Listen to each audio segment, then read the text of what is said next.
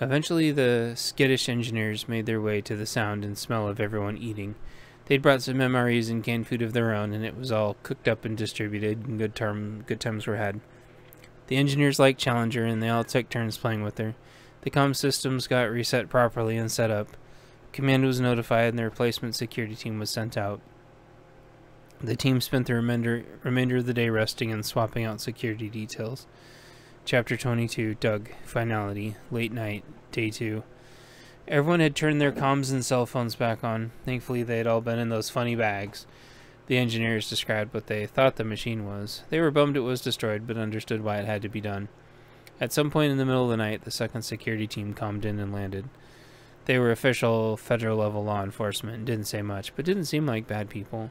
They had a meeting in the conference room and thanked the contract team for their service, but explained the mission had changed. The storm had hit full blast and civil unrest had reached critical levels. The separatists hit every single major city along the I-5 belt at exactly the same time. They were using black bloc tactics, but expected to be rolling in with a main uniformed force to save the cities by morning. Orders from high up were to get all the conservative officials out of the cities and pull all the funding and let them have their precious city-states. There was one catch. They could have all of this, but they couldn't have electricity. Everyone in the room chuckled. The chief of the new security team asked, I assume this isn't going to be a problem for anyone. Doug and all the contractors didn't care one way or the other. They only do what they're told. The engineers asked if they at least got to stay and keep the dam going. The security chief asked that they absolutely please stay, but that they wouldn't be prisoners. Their families could come live up here if they could get here, whatever they wanted. Everyone was happy. Everyone got what they wanted and everyone shook hands. Doug and his team grabbed their gear and got on the new helicopter with the new helicopter pilot that totally wasn't going to die. Doug looked back for a second to see an additional helicopter land with crates of gear. As the chopper pulled up, he saw them open one of the crates to have an M249 with a huge stationary mount poking out of the box next to it with thousands of rounds of ammo and a laser guided targeting with the friend or foe system on board. At least being American made, he didn't have to worry about it shooting him out of the air like a certain notorious Russian missile system. Cough, cough. Doug mentally shrugged to himself as they choppered off into the night. Mission successful. Chapter 23 Doug, Flight Home, Later Night, Day 2. They got about halfway home by Doug's measurements. One second it was a normal looking nightscape, and then as everyone was sleeping and as far as Doug could see in every direction, the lights started shutting off grid by grid. Nobody said anything on the helicopter. They landed also without a word back where they'd started. Only about half got off, including Doug and Challenger, and then the helicopter took off to another spot in the darkness. Doug could hear the sirens off in the distance. Challenger walked around to sniff. The snow had melted a bit, and Doug could smell salt in the air. It was colder because of the wind, but he could tell it was about to thaw out when the sun rose and the warmer air blew in as the storm moved inland. Chapter 24 Doug, Getting Home, Later Night, Day 2. The storm would widen and then weaken. Everything would be rainy mush in half a day. It'd be just in time for the city trucks to come out and act like they did something, but in reality, it'd be two days late as always.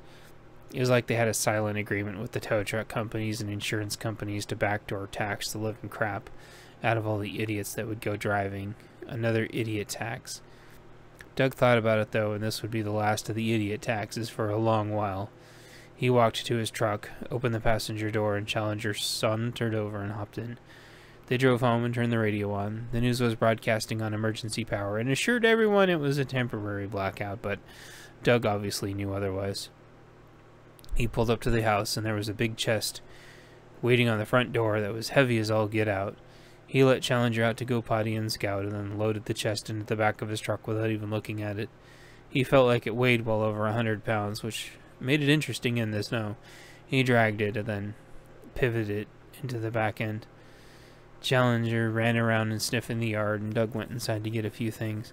He brought out two bags and threw them in the back of the truck and went back inside. Challenger sat down and watched Doug walk back and forth doing this. Doug got out two more big bags and threw them in the back of the truck. Challenger watched, not really thinking anything of it.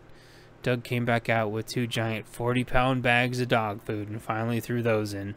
That definitely got Challenger's attention. Doug looked in the back of the truck and it was full, so he closed it quietly as to not wake the oblivious neighbors sleeping naively in their warm homes. Doug went back in and got a few more hard cases. Those went in the back seat, then shoved in the back and stuffed him down on top so he could see out his rear view. He locked the house a final time. There was no point in messing with the porch light. The passenger door was still open. He patted on the seat and in leapt Challenger, ready to go. Doug drove over the hill about 20 yards and radioed his buddy. You got pants on? He waited a few seconds and then calmed back. No. Doug responded, Okay, see you in a few minutes. There was a pause, then he got a copy back. Off Doug and Challenger drove. Chapter 25, Doug, Epilogue, Pre Dawn, Day 3. Doug caught up with his buddy that was working at the AK lab and told him everything that was going on. His friend was skeptical despite all the other clues until Doug pulled out one of the printed AKs that he'd swiped from the dam and held it out for display. His friend was an AK expert and examined the rifle and agreed with the conclusion. It had all the special markings of the AKs that the separatists had been mass producing for their army. Well, I guess this is war then, Doug's friend said. Doug nodded grimly. More of their friends were starting to arrive to consolidate their resources in a central location as the sun came up. With the last to arrive, they quickly got caught up on the situation when a weird radio call came in. I am the old recycling plant being attacked. Mob. I'm at recycling plant. Mob all in black. Recycling center. Please help. Trapped. They all looked at each other. That's where they all used to work before it got shut down. Doug's watch flashed with a simple message. Recyclery. Critical asset it was time to go save the recycling plant and investigate whoever was radioing from there. Chapter 26 End of story time, classroom stronghold, three years after the collapse, late winter, early spring. So you see, class, that's how I got rescued and how the power was out and everything. They all looked at each other and shrugged. I continued, Ah, come on, it had fire and cold and, and a wolf. What else could you possibly want? One of the smart alecks responded, It didn't have a train or a flood.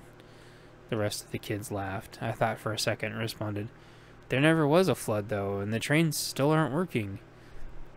We're, we're working on getting that one working, though. I'll tell you about it tomorrow. Also, the last flood was like 12 years ago. We're really overdue. It's been a cold winter. If we have a wet, rainy spring, it could flood in the lower areas pretty easily, but don't worry. It can't flood here. We're up way too high, and nowhere near an old riverbed or anything. That seemed to make them all happy, and it was time for the parents to start picking up the kids.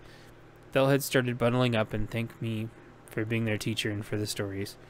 I told them all I'd see them tomorrow, and thanks for being such awesome kids. One such awesome kid stopped and asked me a final question. So, Doug has a dog at the end, but he's supposed to save you at the beginning. I don't remember a dog at the beginning.